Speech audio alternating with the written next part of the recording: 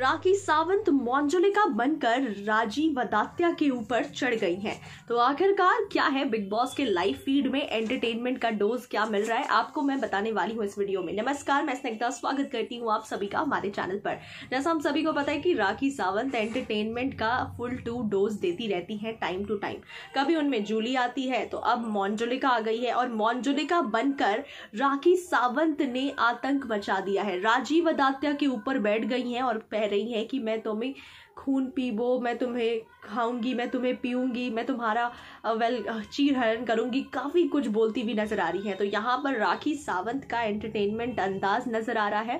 साथ ही साथ राखी सावंत ने अभिजीत बिचुकले के बेड पर तहलका मचा दिया है। उसके सारे कपड़े को फेंक दिए हैं, सारे सामान फेंक दिया है। तो राखी सावंत में आ गई है मौंजुलिका और मौंजुलिका बनकर राजीव अदात्या के ऊपर बैठकर अब बोल रही है कि मैं तुम्हें तुम्हारा खून पीऊँगी, मैं तुम्हारा चीर हरण करूँगी ऐसी ऐसी बातें करती हुई नज़र आ रही हैं। राखी सावंत का ये एंटरटेनिंग अंदाज लाइव फ़ीड में आपको नज़र आ सकता है। हालाँकि आप कमिंग एपिसोड्स में भी इसे देख पाएँगे। कि राखी सावंत किस तरीके से एंटरटेनमेंट का डोज लगा रही हैं, कुछ इस अंदाज में मौनजोलिका बनकर।